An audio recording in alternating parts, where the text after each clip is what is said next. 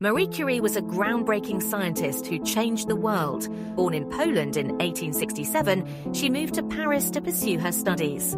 Curie was the first woman to win a Nobel Prize and remains the only person to win in two different scientific fields, physics and chemistry. Her work on radioactivity opened doors to new medical treatments and scientific discoveries.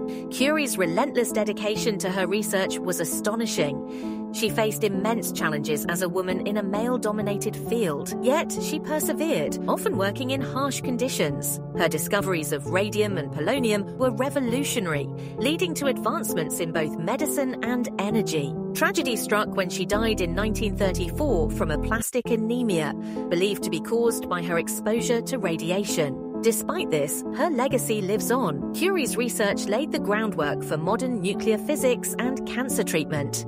She inspired generations of scientists, especially women, to pursue their dreams. Her life story is a testament to the power of determination and the pursuit of knowledge. Marie Curie's impact on science is undeniable and continues to resonate today.